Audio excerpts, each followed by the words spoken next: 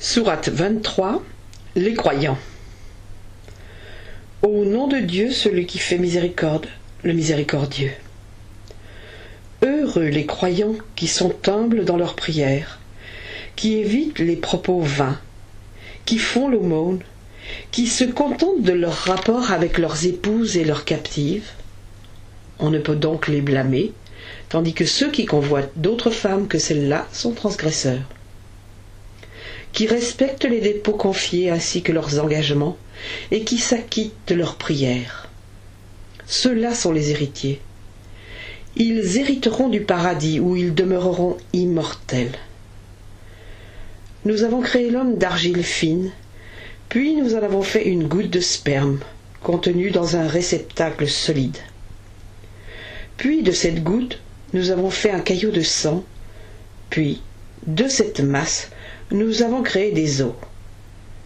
Nous avons revêtu les os de chair, produisant ainsi une autre création.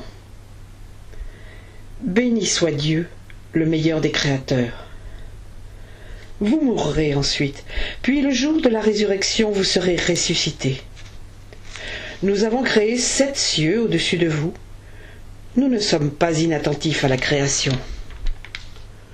Nous avons fait descendre l'eau du ciel avec mesure. Nous l'avons maintenue sur la terre alors que nous pourrions la faire disparaître. Grâce à elle, nous avons fait naître pour vous des jardins de palmiers et de vignes, dans lesquels vous trouverez les fruits abondants que vous mangez. Nous avons fait naître aussi un arbre qui sort du mont Sinaï et qui produit de l'huile et un condiment. Un enseignement se trouve pour vous dans les troupeaux. Nous vous abreuvons de ce qui se trouve dans leurs entrailles. Vous en tirez de nombreuses choses utiles. Il y en a que vous mangez. Vous êtes transportés par eux comme vous le seriez sur un vaisseau.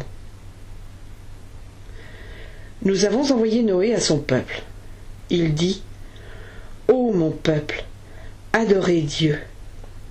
Il n'y a pour vous de Dieu que lui. Ne le craindrez-vous pas? Ceux qui, parmi les chefs de son peuple, étaient incrédules, dirent Qui donc est celui-ci, sinon un mortel comme vous? Il veut s'élever au-dessus de vous. Si Dieu l'avait voulu, il aurait fait descendre les anges. Nous n'avons jamais entendu de propos semblables chez nos ancêtres les plus reculés. Ce n'est qu'un homme possédé par les djinns. Observez-le durant quelque temps.